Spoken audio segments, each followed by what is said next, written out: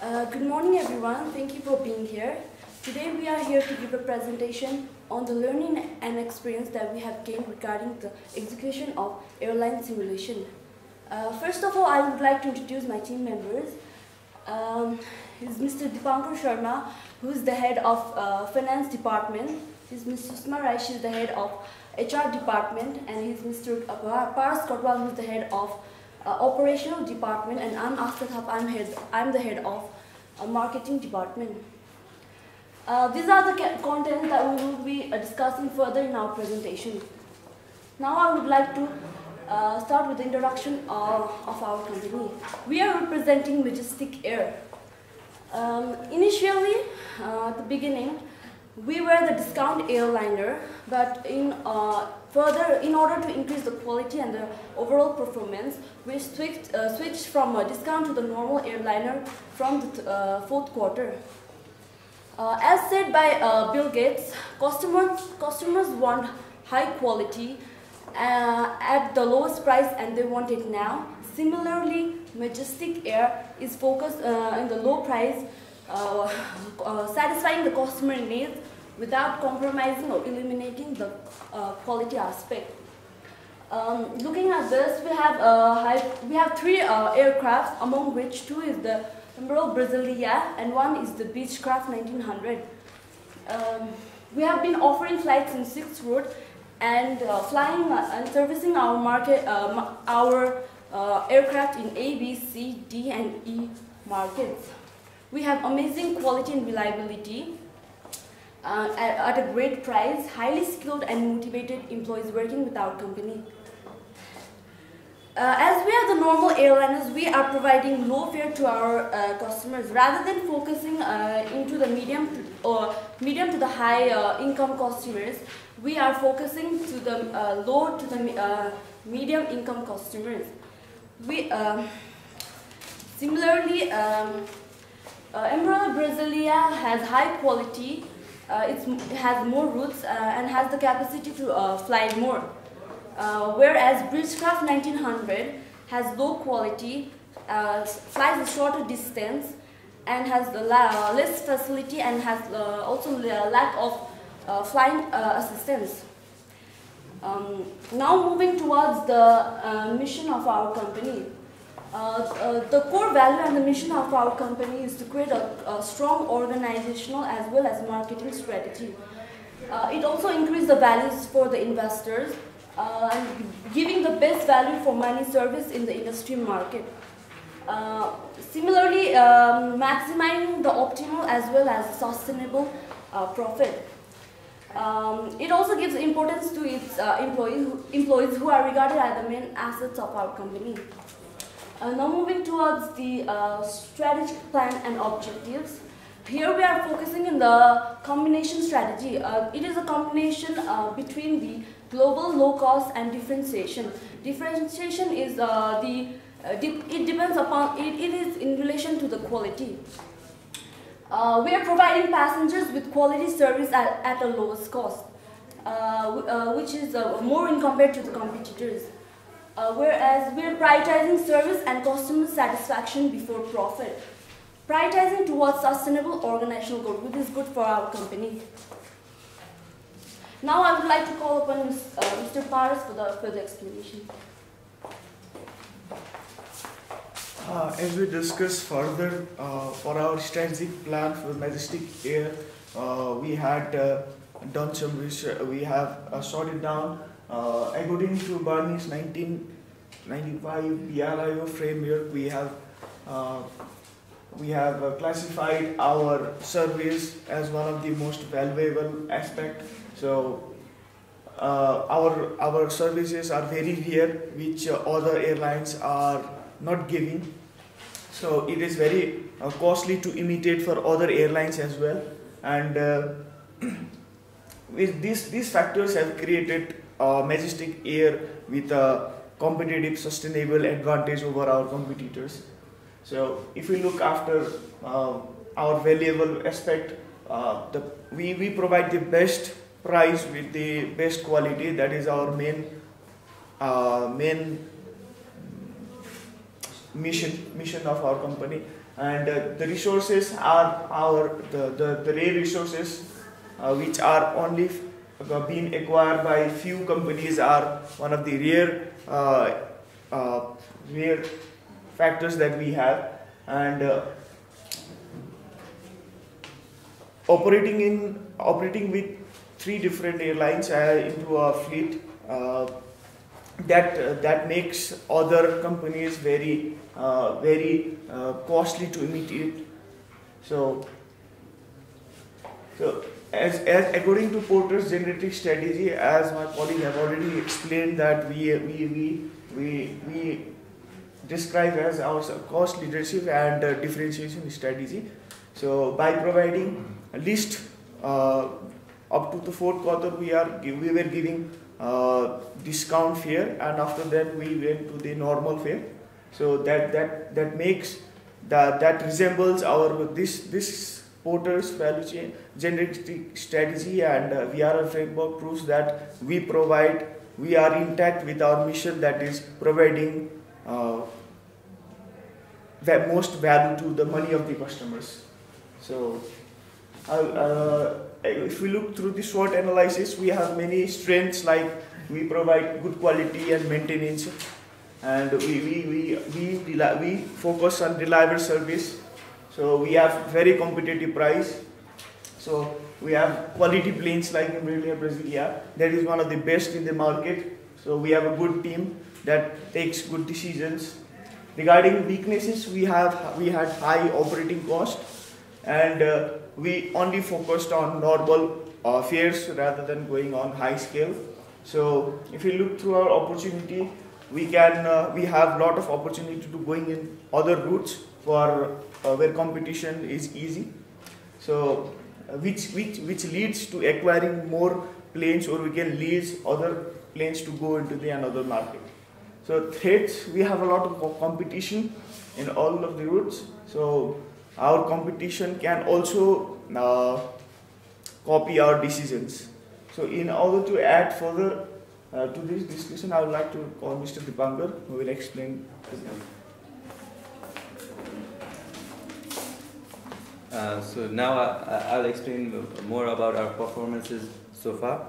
Uh, we are we are already a formidable strength in the industry, especially in our own segment.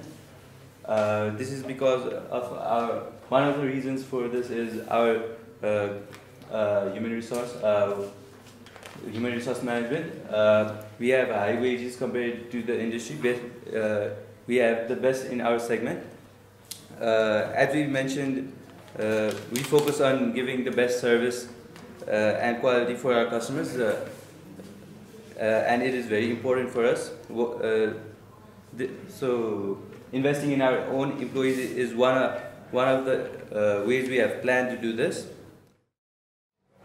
Due to our uh, our competitive uh, compensation plan, we have a low employee turnover as well. As, as you can see, we have the best best in the industry. Next. Uh, marketing, uh, marketing and promotion. We have, we have highly invested in our marketing and promotion uh, uh, with the main focus of getting uh, more brand recognition. Uh, this is to also increase our immediate customers. We hired five five salesperson, which is also industry high. As we can see, we, this is how we uh, spend our marketing budget, marketing and promotion budget. as we as we can see, we, we did not uh, put equal amounts in quarter three, which uh, which we learned is not the best idea. Uh, but later on, we fixed it and we went on doing very well in terms of marketing and promotion. quality and reliability is one of our, as we mentioned, is one of our important qualities that, that we believe on delivering to our customers uh, we really focus on delivering this, uh, de delivering our service to our customers. Uh, our, our ratings shows that exactly that we are exactly doing that. Uh, our quality rating is 99 uh, and because of our uh, maintenance, high maintenance, uh, we have used level 2 and level 3 in maintenance uh, throughout the whole simulation, which has given us a reliability rating of 99%. Uh, operation wise, this is our statistics. Uh, we can see that our performance ha has been really well, especially our passenger load, which is 60% and is looking like we will, we will increase it further. Uh, also, uh, as you can see, our employee resignation at the end of the quarter, uh, at the end of quarter 9 was zero, and our total employees were 86. And, and we have a great earning per share ratio also with $1.33. Uh, here you can see our net profit throughout the quarters. Uh, as we can see, in the first quarters, we, we did not perform as well as we expected. Uh, after we switched to a normal airliner, uh, we uh, and the demand demand forecast also demand also went up. quarter quarter after quarter five, we have done really well to break even and even make sustainable profits. Uh, our stock performance also mirrors that of our net profit, uh, which shows that uh, after we switched to a normal airliner and fixed our operating costs we, we uh, cover our operating costs, uh, we were able to increase our stock prices as well. Yes. Uh, so this is the comparison between the industry. Uh, here we can see our earning uh, current ratio. current ratio. All of our ratios are above above the industry averages. In, there are only some which the debt to equity and return on equity is lower. That is because we stole, uh, uh, sold a lot of st uh, stock to finance our planes. So, balance scorecard is uh, is a strategic planning system uh, to use to align uh, business activities kept in our balance scorecard were our financial perspectives, internal business processes and customers, and learning and growth. Throughout the simulation, uh, we try to uh, keep our financial financials at a good position. Uh, even though we were at a bad place uh, during the uh, first quarters, we recovered very well. Uh, we improved our cash flows and so on. as we went on, we learned and we grew, grew, as a team and we understood the simulation much better. we also looked at our customers in the simulations, which increased uh, uh, throughout the simulation uh, on a regular basis. Our passenger loads were always going up uh, throughout the, the whole simulation. Uh, and the internal business process, we had proper customer relationship management and other management tools where we, were, we had a good organization culture. So in our internal internal business processes were very well done. Uh, so overall, uh, our performance has been uh, good. Looking at the uh, statistics and other other information we have shown, we, we have done very well. We are one of the leaders in our segment. Uh, even though we this the situation we are in was not uh, not what we hoped for at the start, but we have recovered and are on our way to uh, to on our way to our goals that we set in the in the start on the start. Now Sushma will talk future plans. Uh, before talking about the critical incident, I would like to talk about the steps that we took uh, regarding the decision that we made uh, firstly, we established a positive environment as uh, it can become complex in groups to make decisions and this can affect some people. So uh, it helps if a positive environment is created to discuss the options. And secondly, we analyzed the situation in a team setting. And thirdly, we took a closer look at all the option, options, such as the benefits that it will bring to us and also the risk that each of the options might pose and uh, also understanding every member's uh, arguments and lastly making the final decision uh, we went to choose the best option for our airline which had the most benefits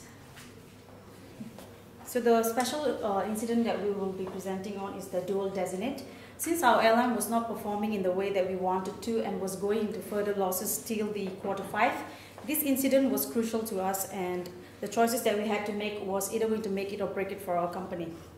Therefore, our teams, team members came into agreement that accepting the dual designate offer uh, was the best for our company if we were to recover our losses in the future quarters.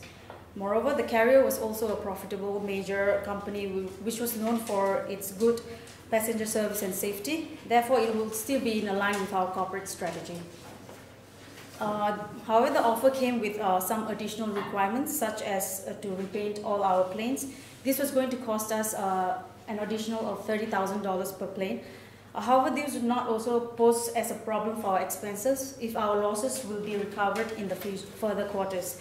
Even though there were drawbacks such as uh, losing the name and the image and the autonomous operation of the firm, we believe that it was an excellent opportunity for the future of our airline as we, as we knew that uh, this kind of offers would not come again. And it, this proved to be true because with this decision, uh, our company had the largest movement in the stock price uh, in the next quarter, uh, which was an increase of $10 in quarter six, and the increase in stock price continued in the further quarters as well.